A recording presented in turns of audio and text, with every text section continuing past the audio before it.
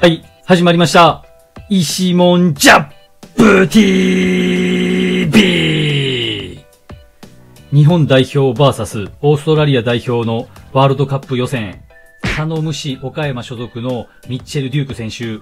おとなしくしておいてほしいと思う石門ジャップ。ワールドカップアジア最終予選ですでに2ゴール挙げていることもあり、超心配です。日本がワールドカップを逃すのか、逃さないかの瀬戸際の一戦が間もなく迫ってきており、非常に緊張している中、今回のトークテーマですが、2021年 J2 リーグ第33節を軽く振り返っていきたいと思いますので、よろしくお願いします。それでは早速、今節の順位、試合結果等は、この通り。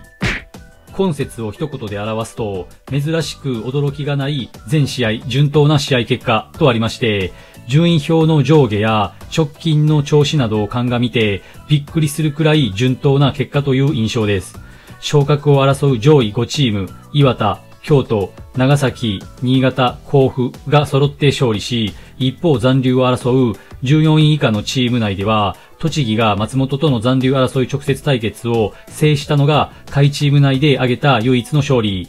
まあ依然として昇格争いに関しては、前節と勝ち点差が変わらずなので、岩田と京都が硬いという状況は変わらず、そして降格圏内の4チームは、すべて全敗により、順位変動なしの動きが少ない第33節となっております。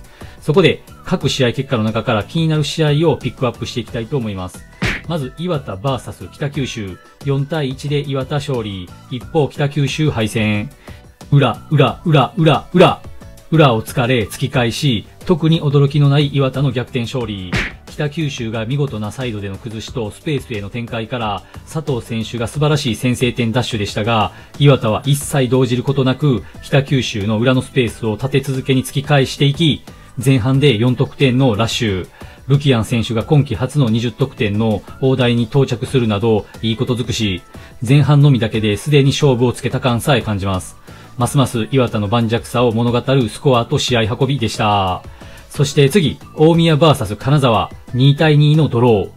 お、金沢、連勝がちらつく早々の2発も、大宮の粘りの前に悔しいドロー。残留を争うチーム同士、金沢は大谷選手のスピードを生かした2得点で残留争いから脱却へ、と一旦頭がよぎったと思うんですが、そんな甘くないのが残留争い。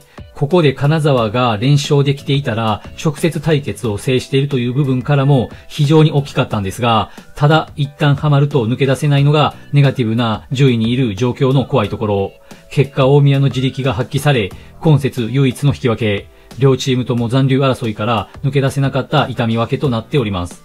そして次、甲府 VS 琉球、1対0で甲府勝利、一方琉球敗戦。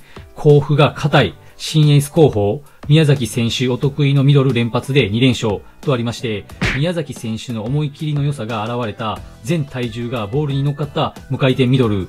これはかなり気持ちよさそう。泉沢選手の抜けた穴を十二分に補う活躍だと思います。チームとしては着実に勝ち点を積み重ねていますが、昇格するためには、あともう一爆発欲しいところ。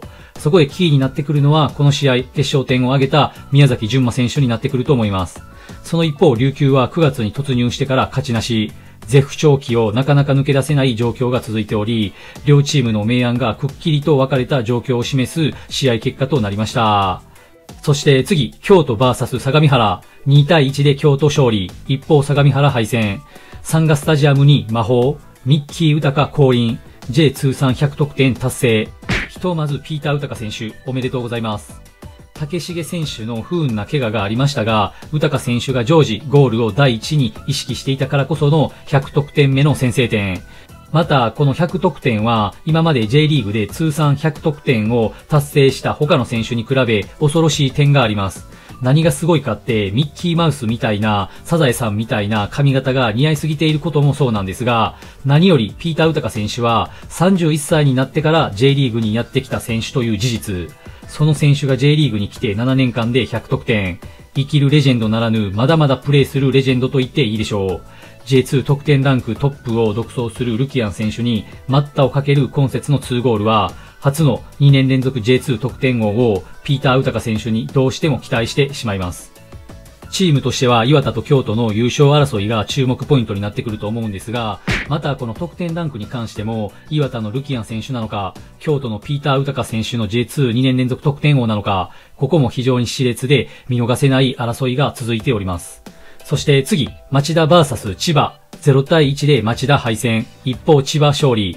千葉が非常に硬い。4試合連続無失点で上位町田を昇格争い圏外に道連れ。町田はホームで2連敗。特に前節の岩田戦による敗戦のショックが大きかったのでしょうか。今思い返すと、今シーズンオフ、京都で大活躍中のピーター・ウタカ選手が町田に移籍かというニュースがあり、結局は破綻となりましたが、実際そのピーター・ウタカ選手が町田に移籍していたら、町田どうなっていたのか、および J2 がどうなっていたのか気になるところです。ただそんな憂鬱モードな町田は今節、サウダーニャ選手と桜川ソロモン選手を同時起用のガチムチ感のある千葉の圧力に屈する敗戦。千葉はこれで4試合連続無失点。今になって遅すぎた好調到来となっております。そして次、今節最も注目試合を取り上げていきたいと思います。愛媛 VS 長崎。0対2で愛媛敗戦。一方長崎勝利。残留争い VS 昇格争い。昇格を争う長崎の速攻が機能した貫禄勝ち。3連勝で上位陣を猛追中とありまして、長崎が強い。個人的には目下 J2 で岩田に次いで2番目に強さを感じるチーム。守備のベースが安定しつつ、縦に鋭い攻撃が見ていて気持ちいいです。アウェーにもかかわらず残留争い真っ只中中の愛媛を圧倒する試合運びから、まだまだ連勝を伸ばしていきそうな雰囲気さえ感じます。そして次、今節のサプライズ結果試合を取り上げていきたいと思います。松本 VS 栃木0対1で松本敗戦。一方栃木勝利。PK キッカーは矢野選手でもなく、豊田選手でもなく、八千田選手。レンタル先で信頼感を得ていることを象徴する決勝弾でエースに君臨。チームを勝たせるまでに至っている八千田選手。前節のプロ初ゴールに続き、2試合連続ゴール。来年彼はどこに所属しているのか。栃木でプレイスタイル柄一人異彩を放っており、それがまたいいアクセントになっているのがいい。京都に戻ってきてほしい気もするんですが、信頼を勝ち取った栃木で来年も見てみたい気もします。そして今節の残留争い直接対決の勝利により、栃木は残留争いからひとまず安心圏内に上がってきたと思います。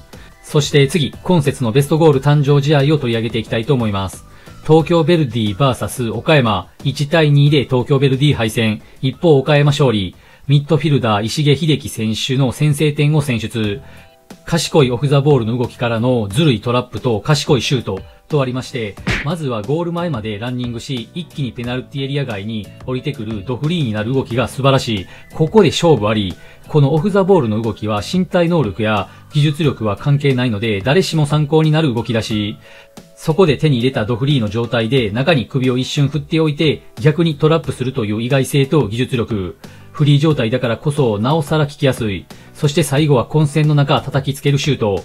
シュートブロックをさせず、かつゴールキーパーにとっては読みづらいシュートを選択したセンスも光りました。すべてが相手よりも先手先手のプレーの連続に、石毛選手が今節のベストゴール認定は妥当だと思います。そして次、次節の注目試合を取り上げていきたいと思います。長崎 VS 新潟。昇格サバイバル、生き残るのはどっち？引き分けすら許されない両チーム。負ければ J1 昇格争い、脱落と言っていいゲーム。ここに来て長崎が首位京都を破る勝利を含め3連勝。新潟を破るとなるとかなり勢いがつきそうですし、直近の試合運びや結果から長崎が優勢かなと。しかしその一方、新潟は山口戦の勝利で昇格に向けて首の皮一枚繋がった状況。もう失うものはないでしょうし、前半戦主に首位として君臨していたプライドを見せつけられるのか、かつては攻めの新潟と守備の長崎という構図でしたが、今の状況は逆転。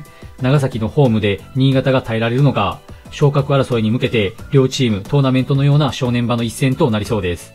以上、今節第33節の振り返りはここまで。今節は昇格や降格に関わる動きが少なかったんですが、次節はいかに最後までご視聴していただきありがとうございました。